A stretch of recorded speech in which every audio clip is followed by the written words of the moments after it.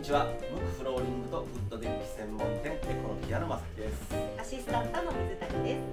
えー、本日ははい。ちょっうん。と香ばしい燻製みたいなします。出雲ヒノキのウッドデッキをご紹介したいと思います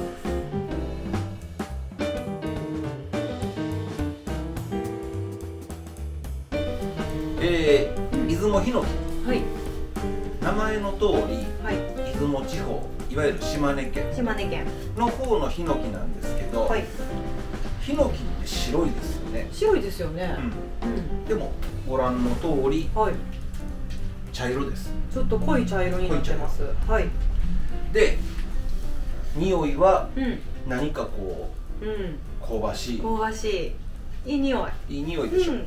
はい。えーいわゆる燻製のようなうん。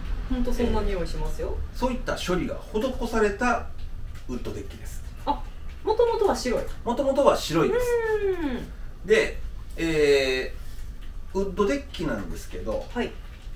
木がまず腐るメカニズムを言うと、うん木の中に含まれているいろんな養分がありますよね、はい有機物有機物。はいこれがあの腐朽菌であるとかそういった菌がついて、うんえー腐食をしたりとかはい。いう原因となるんです、うん。うん。うん。でこの出雲ヒノキははい。その大きなオートクレイブという釜があるんですけど、はいその中に入れて高圧でその中に腐る成分というやつをギューッと押し出してうんはい窒素と入れ替えちゃうんですね、へえ。そうすることによって、えー外に置いててもそもそも中に腐るものがほぼ入ってないので。腐らないはいはいはい。科学の力が結集された、うん。すごい。はいそういった樹種ですはいはい。でこう茶色くなるんですけど、うん。別にこれ塗装してるわけでもなくもともとがじゃあもともとがこの色なので、うんどこで切ってもこの茶色ですはいはいはい。で、えーうちもこれウッドデッキとして、はい。えー施工させていただいているんですけど、うんうん。まあ寸法が抜群にいいですあ、狂わないですか？狂わないですし、うん。まああの今までいろんなウリンとかイペとかセランガンバツとか、はい。えーまあうちでも販売はしてるんですけど、はい4メーターものってなると長いと。長いと最大でこう沿ってるのが、えー4センチぐらいまでうん。は許容範囲です四センチ沿ってもそれは基本許容範囲はいはい。なんですけど、この出雲ヒノキ出雲ヒノキは。びっくりするぐらいピシッとまっすぐでへえ。もう狂いもなければ、うん。で、えーもう先ほど言ったように外で長時間ほったらかしにしてても、うん。もう何の問題もないですへえ。すすごごい。すごいいいですあ、そうですか。えあの施工する側からしても。施工する側からしてもよはいくこれはあの杉とかヒノキとかうん松っていうのはうん。針葉樹で柔らかい樹種なのではいはい。普通のウッド液に比べればだいぶ軽いです、うん、そうですね。うんそうですね。うんまあ持ち運びもしやすいですし切ったりビスを打ったりするのもしやすいですはい。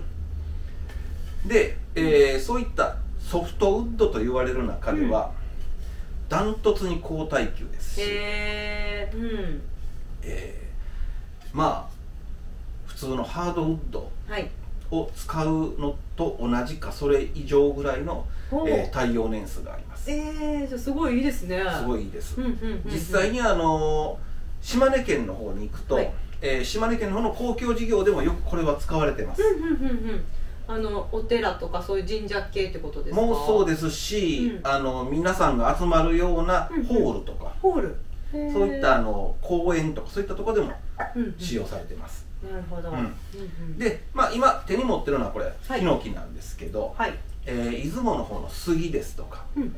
松とかうん。そういったものもこの、えー炭化処理オートクレイブというやつで処理をしたもののウッドデッキっていうのを取り扱ってますので、はいぜひはい。島根県産出雲ヒノキ、い出雲杉出雲松、うん。えーご興味のある方、はいえーこちらまではい。無料カットサンプルも取り揃えております。無垢フローリングやウッドデッキ、レジンテーブルなど天然木にご興味がございましたらぜひチャンネル登録よろしくお願いいたします。それじゃあまた